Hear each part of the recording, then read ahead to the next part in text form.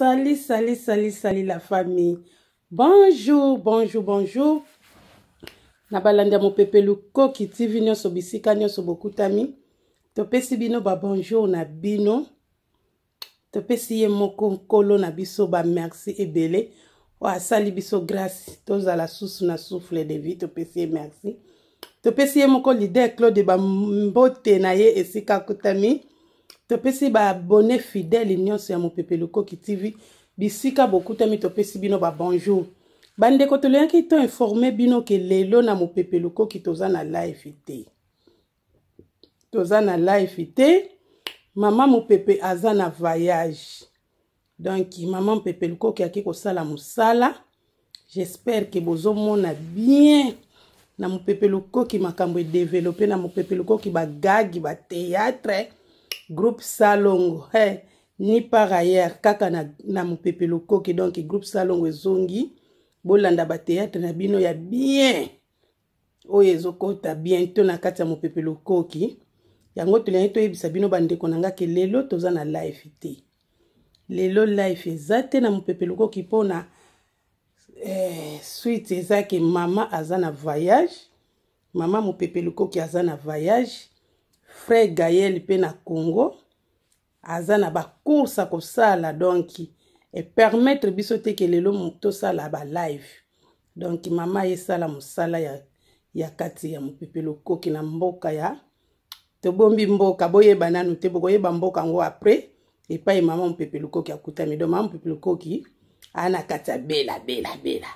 toyesala mosala na kati ya mboka belgique ndeka ezalaka toyesala boulot mpo balobi na motoki na yo nde okozwa lifuta donk toye kosala mosala na biso awa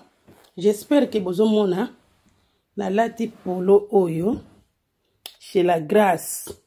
eh, donc continuité yango ya chez la grâce bokomona yango nsima soki eza nini donk toyesala mosala yango tolobi ke lelo life eza te donc lelo na 20 heures soki oyebi ke okolala no 20 heures lala na yo mama mopepe lukoki lelo aza te mama mopepe lukoki lelo aki kosala mosala na mboka belgique yango tolobi ke lelo life eza te tokokutana lobi ou bien lundi mikolo tokomi na balife na biso lundi 20h30 jeudi 20h15 samedi 20h juste donc tokomi na 3 fo tozo koaccelere eh, balife emati donc yango wana bandeko boya ebele bosabone ebele massivement na kati ya mpepe lukoki donc kuna gout oyo eza chaine ya bahandicap ya baorfele ya baveve donc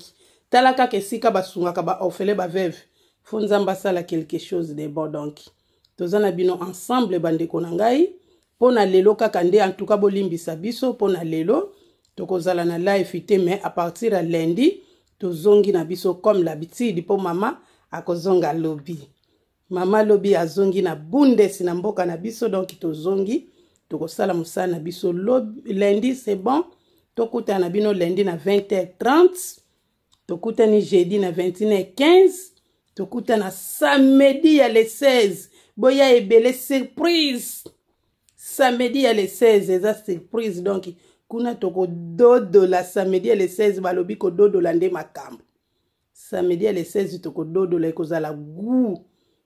po nabombi yango tosi yango samedi wana po samedi ezalaka moto nyonso soki esasilisi mosala ti 20 heure avandi na kiti na na jitalala aolanda maa mopepe lokoki donk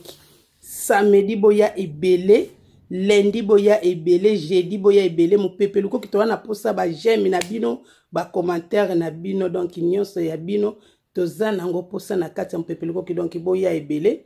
bosabone massivement na pesi bandeko nyonso bambote bisika nyonso bokutami vraiment tika nzambe alola pambola bino toye kopesa ye moko mare de garçon bambote ebelebelebelebelebele topesi muze apoka na mama titi la grace topesi bango bambote na ba mon vieux sami selunga e topesi yo bambote na yo washington le grand pays nde topesi yo bambote na yo eh? bana ya octobre nyonso topesi bino bambote na bino bato nyonso bazofete oyo babandaki kofete banda le premier ti bakofete ti le 30 octobre do topesi bino bambote na bino vraiment nzambe alola apambola bino donk tokutani na ngolu ya nzambe si dieleve ah. kolo azwa lokumu leader claude kanga video papa merci merci tokute na bino semaine prochain lelo life eza te merci au revoir